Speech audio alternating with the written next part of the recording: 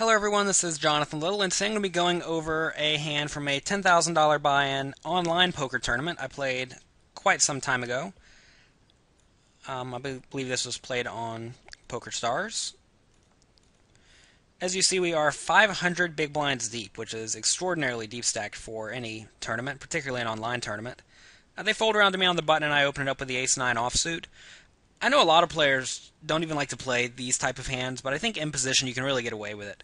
Um, as long as you're just not gonna give up to any further aggression. I think you do have to be willing to fight back. And against the two players in the blinds, in the small blind we have Action Jeff, who is a very aggressive online player.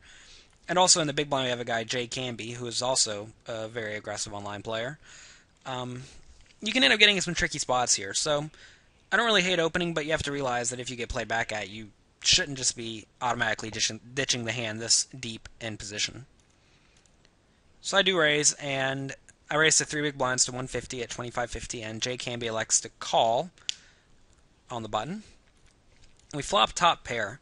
It comes 9, 6, 5, uh, monot- or three flop, three different suits. Sorry, I can't talk right now. Uh, he checks me, and I bet 200 into the 325 pot, and he makes it 550. And this is the type of situation where if we were a little bit more shallow stacked, like say we only had 100 big blinds, this would be a pretty gross spot. But I think this deep stack, there's nothing wrong at all with just calling and then trying your best to get to showdown. So that is what I'm going to elect to do. I do call. The turn is a three of hearts, and right now, you know, I think his range on the flop to check raise is going to be like sets, two pairs, and then a lot of hands like gut shots with backdoor draws. Like you could have something like Queen, King Seven of Hearts, or um, King Eight of Hearts, maybe something like that. He could also maybe have something like Ace Six, or maybe even Six Seven, and be sort of bluffing with it, semi-bluffing. So the turns of three, three of hearts, another two hearts on board. He bets 898. I don't really read too much into these bet sizes. I've actually been talking to some of my friends recently, and I think one of my leaks may be that I don't really pay attention to bet sizes. I mean, I pay attention to the sizing, as in large, medium, small, or like weird sized, but I don't really pay attention to the exact numbers, and that's maybe that's a leak in my game. But I'm I tend to estimate quite a bit when I play poker. I'm like, okay, he bet, you know, two thirds pot. That's two third pot bet. It doesn't really matter that it's 898 versus 900. But against some players, that certainly does make a difference because some players will bet like 898 when they have air, and some players will bet 898 when they have the nuts. And if you can figure out when they're doing 898 versus 900. That'll certainly be a big moneymaker in your arsenal. So he bets 898. I'm certainly not folding on the three of hearts turn. This is effectively a blank, um, unless he has 7-4, which he may check raise the flop. I I'm still in pretty good shape here, so I like to call. River's the ten of spades and he checks, and now I have to figure out if I should value bet.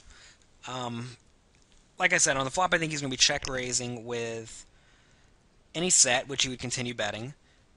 The straight, obviously, he would continue betting. Um, he may check raise something like Queen 9 that he would not bet the river. But even then, I think he may throw out a value bet there, even though I'm not too sure it'd be a good one. Um, A6, he would certainly check the river unless he plans on bluffing. So I don't know. This is a tough spot where I, I'm not too sure he's going to call any river bet if I do bets, unless he has a very strong hand like queen nine or better.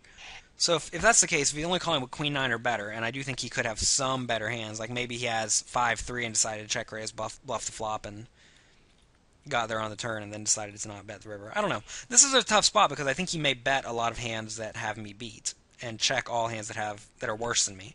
But if that's the case, if he's only going to bet hands that are better than ace nine on the river, then that means his whole range is worse than mine. So if that's the case, I should throw out a value bet here but I'm not too sure that's the case. A lot of players don't want to be put in really difficult spots on the river, so they will just check, go into check call mode.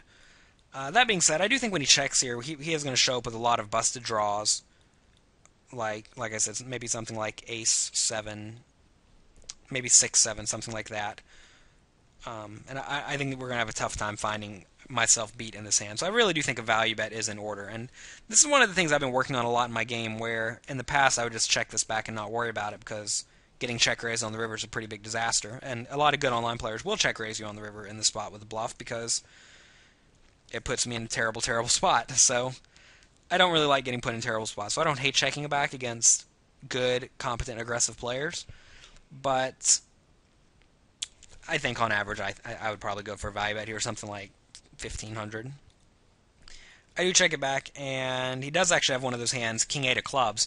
I'm a little bit surprised he bet King Eight of Clubs on the flop, seeing or check raise on the flop, seeing as there are no flush draw, no backdoor flush draws for him. Um, and I don't really hate his turn bet. I think his turn bet's perfectly fine when he turns. I'm sorry, he turns nothing. I, I still think it's a fine turn bet. If you're going to check raise the flop with air, you generally need to be willing to continue. I'm a little bit surprised actually that he did not fire the river. I guess he thought I had something like an overpair and just wouldn't fold it. And honestly, if he bet the river here, I would not be folding it. So that's going to be it for this hand. And I will be right back with the view of this hand from my opponent's perspective. This has been Jonathan Little for Weekly Poker Hand.